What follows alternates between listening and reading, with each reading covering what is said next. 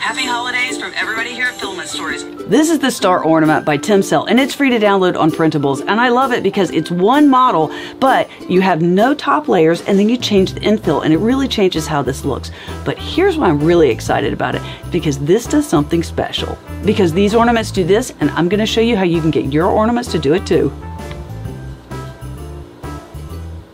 Happy holidays from everybody here at Filament Stories. We had a great 2022 and we're looking forward to a lot more filament and a lot more models and fun in 2023. See you then. All right, the way this works is I got a little NFC sticker and they're pretty inexpensive. I printed the first two layers, stopped, and then stuck this thing down. And then when the print's done, you can get a free app that will write whatever URL you want. You could have a picture of your family, you could have a holiday message, or in this case, we just sent it to a YouTube video. And it's a great way to take your 3D prints that you're going to be gifts and personalize them. Check it out.